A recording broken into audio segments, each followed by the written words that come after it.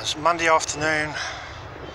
I'm walking by the river on my way to the seafront and see if I can go and film the water's edge or even get to it.